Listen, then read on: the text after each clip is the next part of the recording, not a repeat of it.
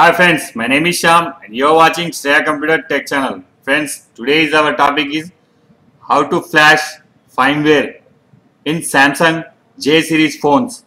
In this tutorial, I will tell you the step-by-step -step process. Please do not skip this video. Watch until the end. I will provide you every download stuff in below description. You may find it. First of all friends, we need to install this Samsung J series driver which I shown you in folder you may directly download from this website.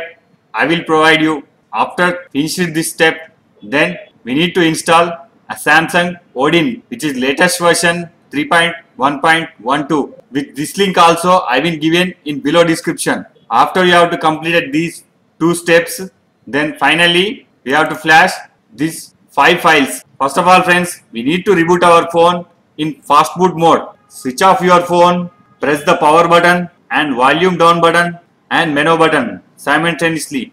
When it's vibrate, remove hand from power button and here press volume up to continue. When the download screen is appears, open this Samsung Odin flashing software. After opening this software, then we need to connect our phone via USB cable to PC.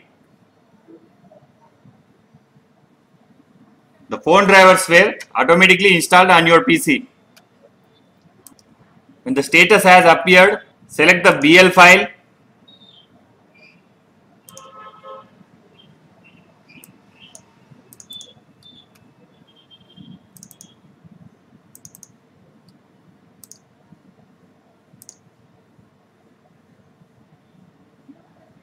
and then select the AP file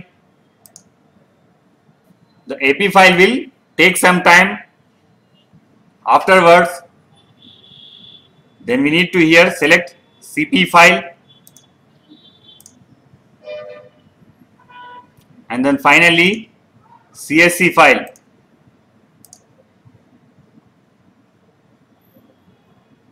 After selecting these are all.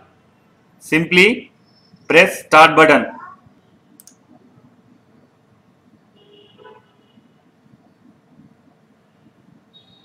it will automatically starts and flashing firmware in your phone. Please do not disconnect your phone. It may be chance to brick your device. It will take 4 to 5 minutes to complete this process. You can do all these steps in your home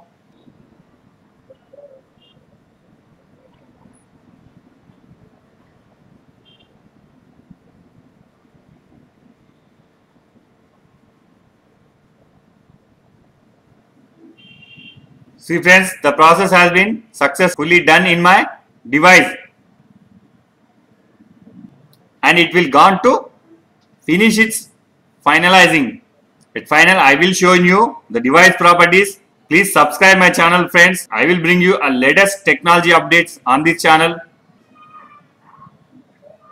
So thank you friends. Bye bye friends.